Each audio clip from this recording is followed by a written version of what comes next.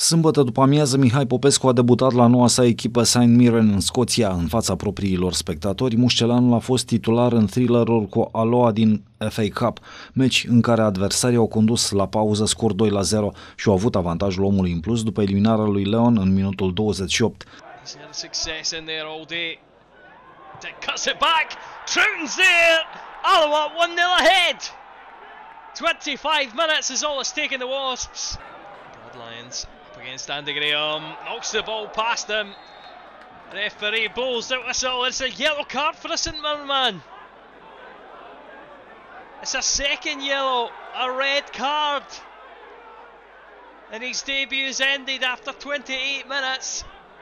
The St Mirren Brad Lyons here takes on Andy Graham. Andy Graham just stands his ground. He's back out. Still in possession. Dick inside to Coley! And Coley puts it in the top bag.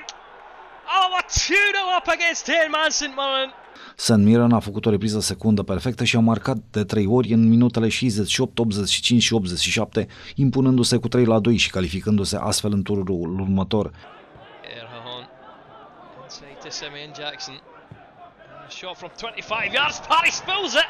Cody Cook following up has brought St. Mirren back into this game. Of McAllister He manages to find the through ball to the captain. Stephen McGinn puts it into Erhajon.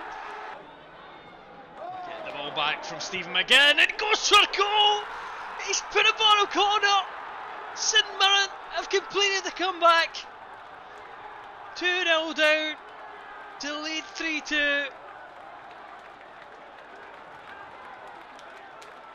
Mihai Popescu a îmbrăcat tricoul cu numărul 16, a jucat fundaș central și a rămas pe teren toate cele 90 de minute de joc.